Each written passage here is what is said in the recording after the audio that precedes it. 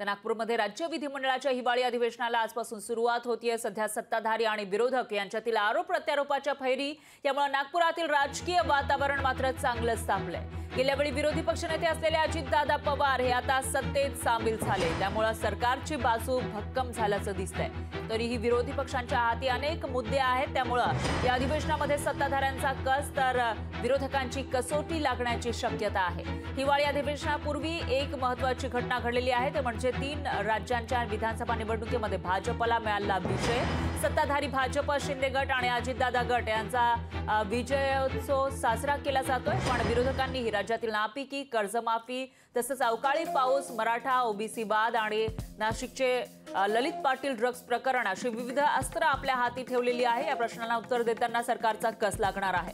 आणि याविषयी अधिक माहितीसाठी आपले प्रतिनिधी चेतन ननावरे हे थेट आपल्यासोबत जोडले गेलेले आहेत.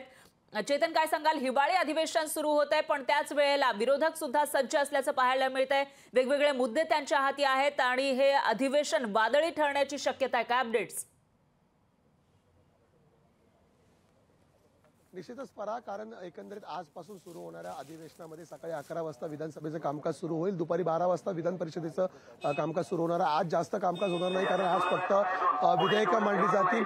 याशिवाय त्यानंतर एकंदरीत आपण पाहू शकतो की माझ्या पाठीमागे चोख बंदोबस्त लावण्यात आलेला आहे कारण जवळपास शंभरहून अधिक मोर्चे या ठिकाणी झळकणार आहेत.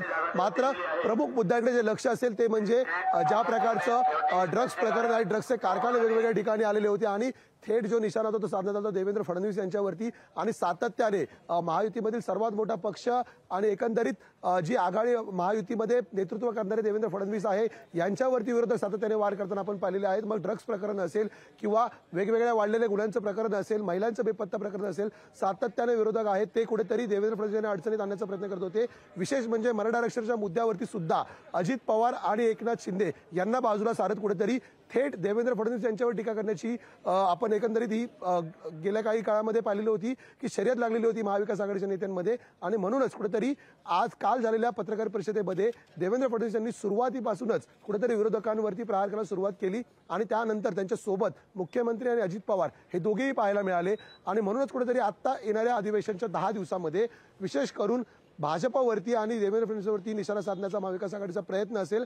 मात्र तीन राज्याच्या निवडणुकांचा निकाल ज्या प्रकारे तू मेन्शन केलं होतंस की जो पॉझिटिव्ह लागलेला आहे भाजपच्या बाजूने त्यामुळे कालपासूनच मुख्यमंत्र्यांनी आपण पाहिलं असेल की विरोधकांचं अवसान गळालेलं आहे जी टीका केलेली होती. म्हणजे एकंदरीत आता यापुढील काळामध्ये वारंवार विरोधकांना याच प्रकारचे टोमणे ऐकायला मिळू शकतात. परा. निश्चितच. चेतन धन्यवाद. तुम्ही दिलेल्या या सविस्तर माहितीसाठी तुमच्याकडून याविषयीचे अपडेट आपण घेत राहूयात.